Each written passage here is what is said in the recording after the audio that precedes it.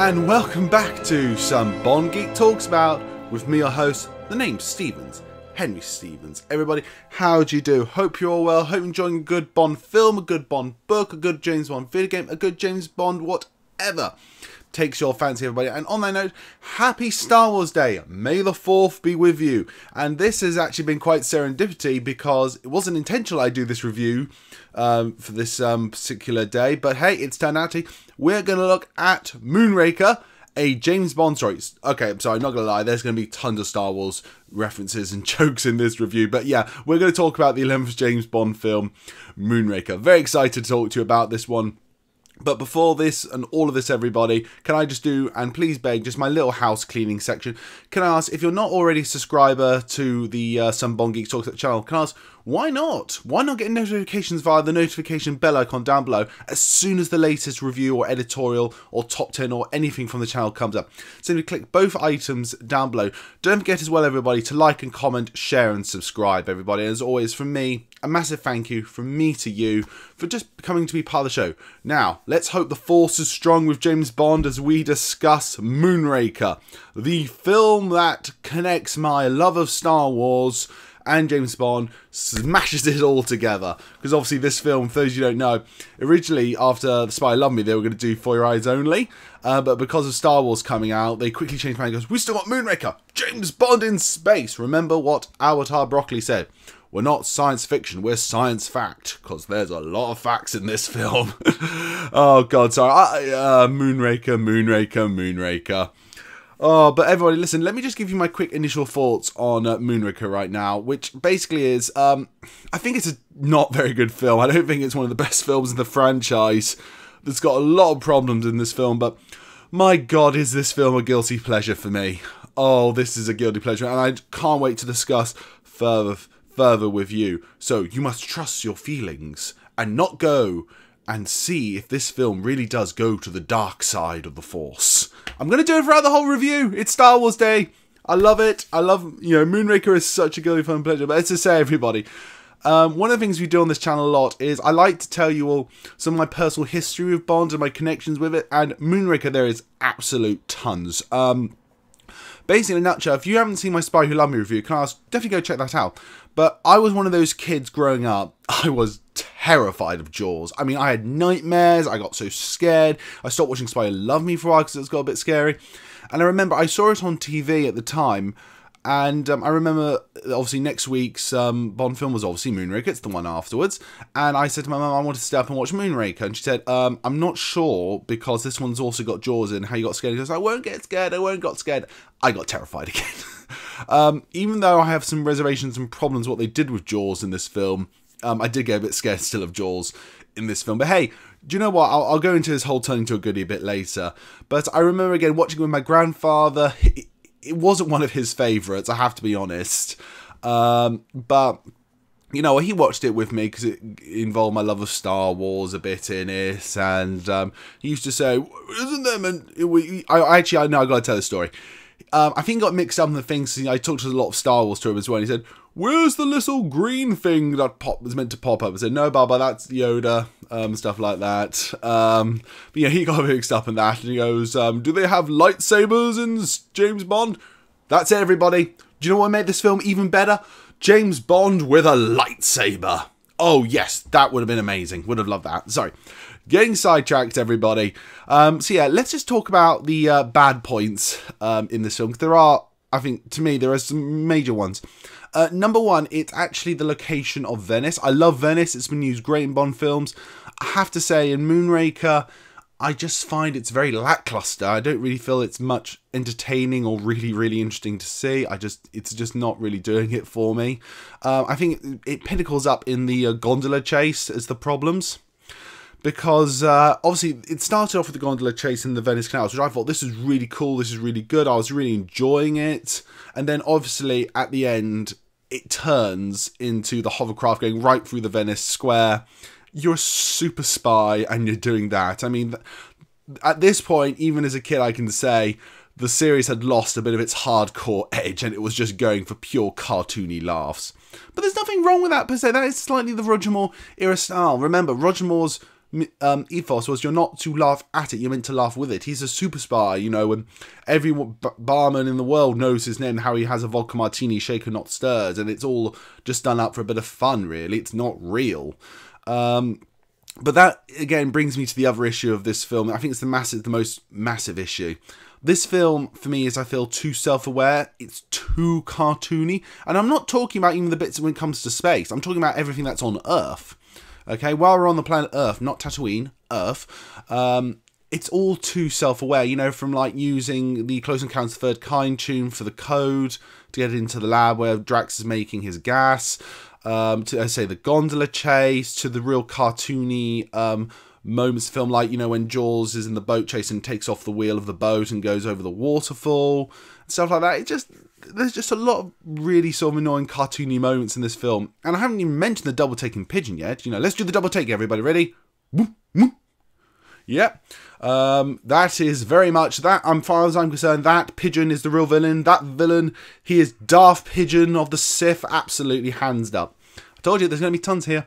So, obviously, um, that's really my big major issues when it comes to Moonraker. But there are good points, everybody. There really are good points. Um, I have to say, right off the bat, the pre-title sequence in Moonraker is one of my absolute all-time favourites. Um, I love it how you know take out you know the um, ceiling of the Moonraker shuttle, which is okay. You know we've seen that many a time that done in Bond films, something being stolen.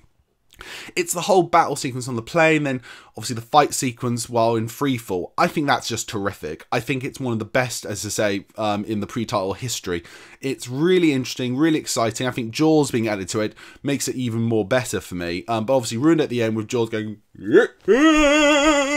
fly, I can fly, or trying to fly. Um, you know, when clearly he just should have obviously used the force to land himself safely.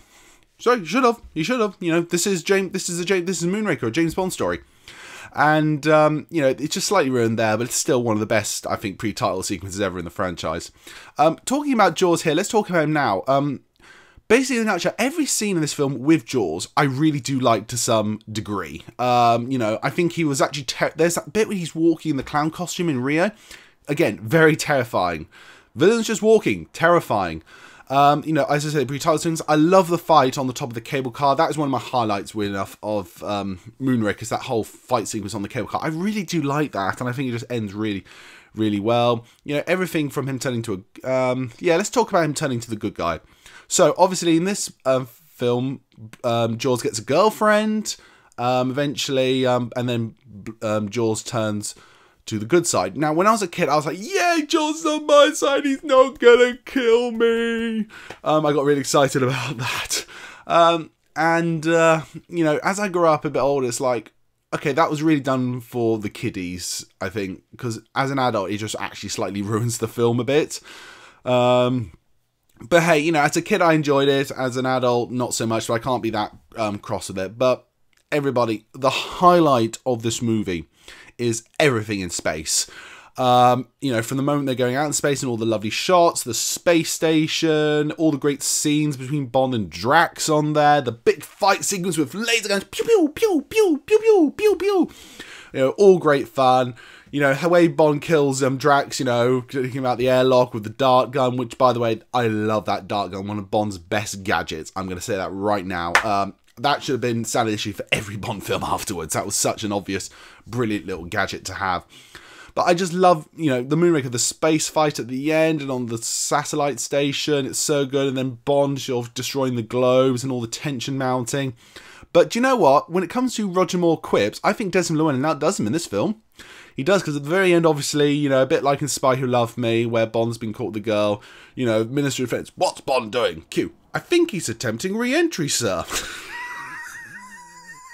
I love it! I love it! Brilliant! Hands up! Oh god, this film is so bad it's good. Oh god, it's so bad it's good. But I love it. I love it so much. Um, it's just such good fun. But uh, let's talk about the characters now. Um, because that's really where I think where the film shines for the most part and also suffers in a big part. So I've talked about Jaws, obviously. Let's talk about James Bond himself. Um, Roger Moore again is doing another superb, wonderful performance as James Bond without a shadow of a doubt. Um, but I think at this point, I think unlike Spy Who Loved Me, where I felt that the right balance between, as to say, self awareness and seriousness was perfectly mixed, this film just goes so heavily in the self aware section. That's like Vader going, you know, Luke, I am your father. Bet you didn't see that, audience, did you? Did you? You know, little wink at the audience. If, what would Darth Vader look like if he could wink? Um, that's an that's a conundrum itself yeah, this is. I think it's you know saying it's just a bit too thing. I mean, that that's really how I feel about Roger Moore's performance in this one. Luckily, his next film slightly rectifies that. But say it's a bit too self-aware here. But it's all good. The MI6 regulars I'll just talk about here now. Q, as I say, gets the best line in the movie. Uh, this is also, I should say at this point, uh, Bernard Lee's um, last performance as M before he dies. Um, at this point, I'd just like to give a little tribute to uh, Bernard Lee here. You were a absolute legend. You are the original M and the one everyone who's come after you has tried to match. Um, you you were a constant in the whole films and even changing of actors and you know you were you just you you are to so many people M. Um, I loved you as M. You will always be the first M. Just thank you. Um, you you know you're how can I put this? You not being in the next couple of films makes a difference in the in slightly, and we do miss you, Terry. Bernard Lee was just so wonderful, and uh, he, always gave such a wonderful performance. And there's a real connection with M and Bond in this one, which I think is very nice for him to uh, end on. But as to say, uh, Moneypenny gets a few, you know, quick little scene here again. I have to say they're not using Lois Maxwell as, as well as they used to anymore. But hey, you know, at least she's in there, and it's all really great. But everybody, let's talk about um, the Bond girl here. So we've got um, basically, the, the main Bond girl of this film really is um, Dr. Holly Goodhead. Um, and how do I feel about her? Well, honestly, I just don't know what it is. Um, you'd think I'd fall madly for this uh, Bond girl. She's just the sort of Bond girl I really like. And she is. She covers every box, but there's just something about her I've just never really warmed to. I don't know what it is in this film. Um, I don't think it's the actress. I think it's the way the character's written. But I've just never really liked Dr. Goodhead. It's just never been one of my favourite um, Bond ladies. Um, I just can't explain it better than that. There is just there is no sort of real reason, just apart from not the biggest fan. Um, but hey, you know she's you know she does really great in the movie. Just for me, it's just it's just not firing. The character is not firing for me. Um, I think I'll also quickly talk about uh, Chang here, because I want to talk about Chang here, because Chang was obviously original henchman in the film before um, Bond kills him in Venice and get Jaws in. But there's just one scene that really interests me, which is when Drax is talking on the phone saying, Right, I need a replacement for Chang. Who's available? Oh, yes, well, if he's available, definitely like him. Yes, I'll um, add to basket. And he hires Jaws. And it's like, who is he talking to? I want to know who is this Drax talking to? You know what? I've talked about spin offs in the Bond series before. This is the spin off I want. I want to see who this agency is who gives henchmen to people. Because, well, sir, we have uh, Zao, who has diamonds in him. Um, I'm afraid Oddjob is um, out of commission at this point. I'm very, very sorry. But we do have a uh, lady who kills people via sex. Would that be interest to you? See, I want to know who this. If you want to see this spin-off as well, comment down below and tell me without shadow of a doubt, everybody. But let's quickly talk about um, sort of Drax here as well, if I may. Um, do you know what? When I was a kid, I used to think Stromberg and Drax are obviously very similar. Um, one wants to destroy the world via ocean, one wants to destroy via space. Um, the mirror opposites. Um, I used to think Stromberg was better than Drax rewatching the films recently, as I say, I didn't really like Stromberg this time when watching By Me. Drax, I loved his over the topness, his way, his suave, smooth, um, you know, French voice, you know, saying English lines, just make him so much fun. Like, look after Mr. Bond, see that some harm comes to him. I loved it. I just, I loved Drax in this film. I thought he was wonderful. Um, he's really at the top, really suits the film, and he's engaging, he's interesting, and he's sort of just, I, I just can't help but I loved watching Drax in this movie. I really, really did. Um, I actually think he's now like ranking quite high up in the list of villains. You know, in comparison, used to be at the bottom. So yeah, I really love Drax, and he's just it's just the way he handles himself is so beautiful. So everybody, that's really my thoughts on uh, Moonraker, really, for the most part. I think it's a guilty pleasure movie. I think it's terrible in some ways, but I can't help but love it. I got James Bond in a space fighting. All I need now is some X-Wings and the Millennium Falcon to come with Han going, Don't worry, James, I'll help you. Right, you know, Bond destroying the globe. Suddenly, Obi-Wan's voice coming over saying, use the force, James. I need that. I need that now. Everybody, look. Um, Moonraker, it's a guilty pleasure movie. You either love it, I think, or you hate it. Me, I think it's terrible in some ways, but I think it's also brilliant at the same time. But I want to know, everybody, what are your thoughts about it? Comment down below and tell me what you think. As always, everybody, my name's Henry Stevens. This has been some Bond Geek Talks about. May the 4th be with you. Goodbye.